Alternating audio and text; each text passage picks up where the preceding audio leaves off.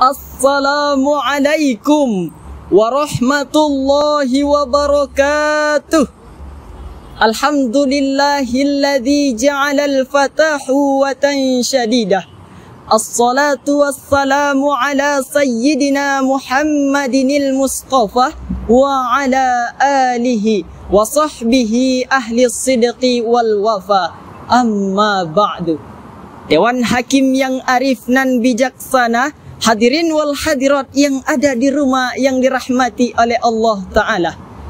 Pada kesempatan yang berbahagia ini, saya akan menyampaikan pidato saya yang berjudul Generasi Muda dan Perkembangan Zaman. Hadirin, teknologi informasi yang berkembang secara cepat telah memberikan manfaat yang luar biasa kepada seluruh masyarakat karena telah memudahkan kita untuk saling berinteraksi dan berkomunikasi dengan mudah dan cepat. Akan tetapi hadirin, teknologi informasi juga berdampak dekadensi moral yang bertambah merajalela, saling menyebarkan aib ke mana-mana, bahkan saling mencaci maki di media massa.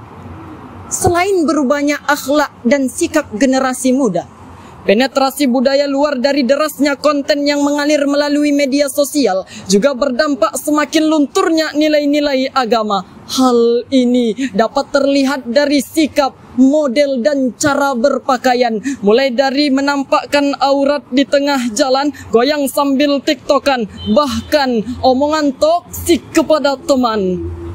Jika ini kita biarkan hadirin, Lalu apa bagaimana nasib bangsa kita ke depan? Padahal Allah Subhanahu wa taala telah mengingatkan kepada kita bahwasannya kita tidak boleh mewariskan generasi yang lemah di belakang kita. Sebagaimana Allah berfirman dalam Al-Quran Surah An-Nisa ayat 9 A'udzu billahi minasyaitonir rajim وليخشى الذين لو تركوا من خلفهم ذرية ضعافا خافوا عليهم فليتقوا الله وليقولوا قولا سديدا. Hadirin, semua ini menjadi bahan renungan. Dan menjadikan kita untuk lebih peduli kepada generasi penerus dengan berupaya semaksimal mungkin untuk melindungi dan menjadikan mereka menjadi pribadi yang mengenal diri dan Tuhannya.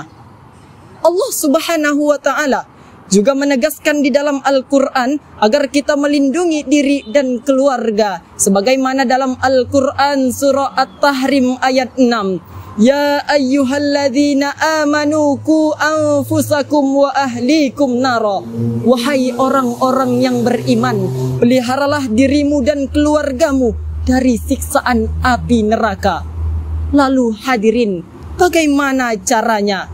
Sayyidina Ali bin Abi Thalib mengatakan Adibhum wa'allimuhum Dengan cara mendidik akhlak mereka Dan mengajarkan ilmu kepada mereka Akhir kata hadirin, marilah kita bina generasi muda dengan akhlak yang baik. Kita bekali mereka dari terjadinya dampak positif teknologi. Karena bukan harta atau materi duniawi yang menjadi warisan terbaik bagi mereka, tetapi ilmu dan akhlaklah yang menjadikan mereka menjadi pribadi yang lebih baik di masa yang akan datang. Demikian yang dapat saya sampaikan. Mohon maaf atas segala kekurangan. Buah durian, buah kelapa. Cukup sekian. Dada. Wabillahi taufik wal hidayah. Assalamualaikum warahmatullahi wabarakatuh.